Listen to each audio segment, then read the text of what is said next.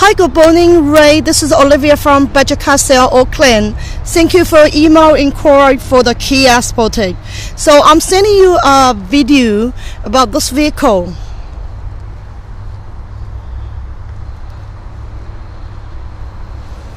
So this one is a 2017 um, 2 liter engine size New Zealand new vehicle. It's done 42k.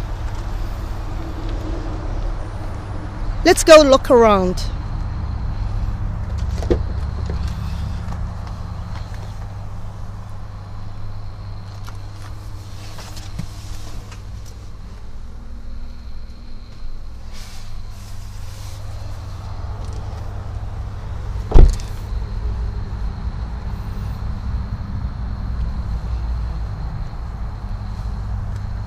Got one little scratch on the door side.